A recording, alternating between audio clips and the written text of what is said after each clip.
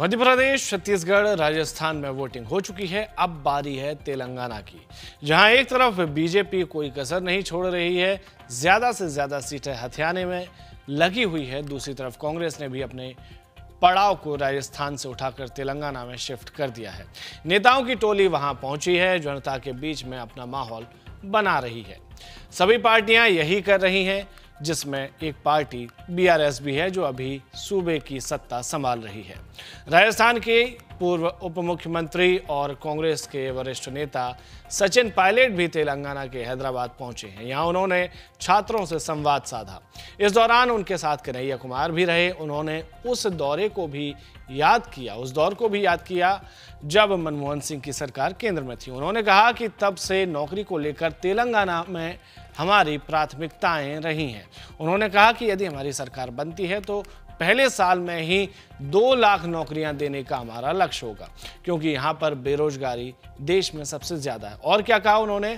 छात्रों से आइए सुनते हैं। कांग्रेस पार्टी ने, सोनिया जी ने, मनमोहन जी ने जब ये विजन देखा था तो तेलंगाना के नौजवानों के सपनों को पूरा करने के लिए इस स्टेट का निर्माण हुआ। This state was created to make the lives and dreams of people a reality now you right that Telangana, amongst the largest states in India, is the highest unemployment. And the people who are in charge of giving employment, if they are not credible, if they are not delivering on their jobs, then it creates a lot of questions in the minds of young people. And what we as a nation can't afford to do is have our young people and their futures under a cloud. So I think the government of the day, the last 10 years, should be made responsible for the lack of opportunities, the lack of transparency in conducting exams, in holding recruitment, I'm, I'm told that the Public Service Commission has not had recruitment for years together. So it's absolute betrayal of the trust of the people because the first job of an elected government is to realize the dreams of young people, especially those who are educated. Poor families who spend lakhs to coach young people, tuitions, live and uh, for a year or two prepare, and then their dreams get shattered. It's unacceptable.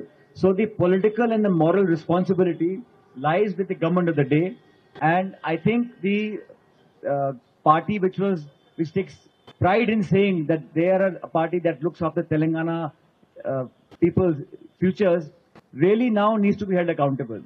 And I think in the Congress party, we have already said that the minute the Congress government comes into force here, uh, 1st of February, we'll have a schedule of when the exams will be conducted, when the interviews will be conducted. So this is a commitment of 2 lakh jobs in the first year of a Congress government.